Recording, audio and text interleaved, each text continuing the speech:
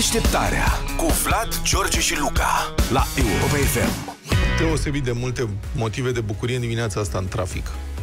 Crezi? Da, prosperitate maximă la ce prețuri are benzina, mă rog, motorina. Ne mai și mirăm Sunt că mai e surprins- trafic. Da, sunt surprins de cât de multă lume era uh-huh. în dimineața asta. Se mergea evident foarte tare. Dudu e economia. Da. Cred că asta, asta e un semn.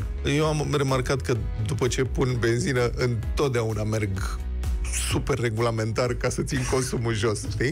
Pentru că am un computer de la de bord care îmi arată consumul instantaneu și mă doare sufletul, știi? După când pleci din benzinărie, evident, consumul este foarte sus. Dar ție îți mai, îți mai arată cât mai e de consumat sau îți mai arată câți lei mai ai în rezervor? Da.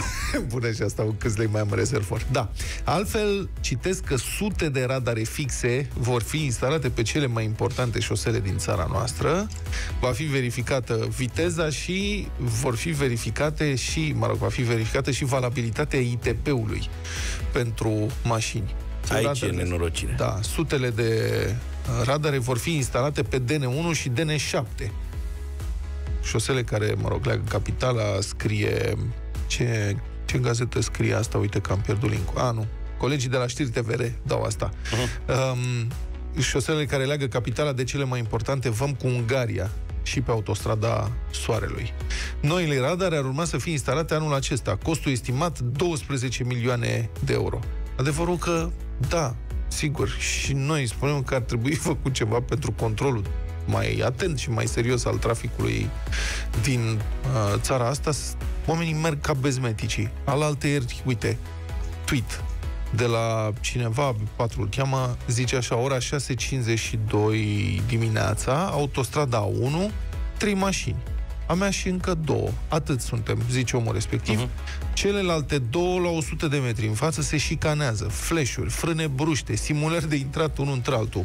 Oribilă nație suntem pe șosea, descreierați, lipsiți de instinctul de conservare, criminali liberi. Și sunt convins că nu e singurul care a observat așa ceva. Eu și cu soția mea ne ducem în fiecare an la Socri de Crăciun. Pe 25 decembrie facem un drum până la Călăraș. O bună parte din drum este pe autostrada Soarelui, A2. Unde pe 25 decembrie nu e nimeni. Adică, Erați voi.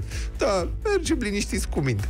Băi, în fiecare an vedem niște nebuni pe, au- pe bucata aia de autostradă și anul ăsta a fost la fel. Cream că spui că anul ăsta, dacă nu era nimeni, v-aș certa voi în mașină. Nu. grup de patru.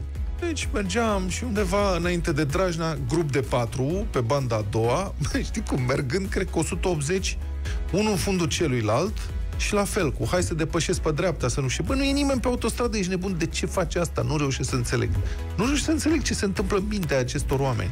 Adică cam ce cred că se poate întâmpla ceva distractiv dacă ai pentru un ei. accident la 180 de km pe oră? Cam ce? Cred că Da, ei, aveau, nu, ei nu sunt la fel de pesimiști ca tine.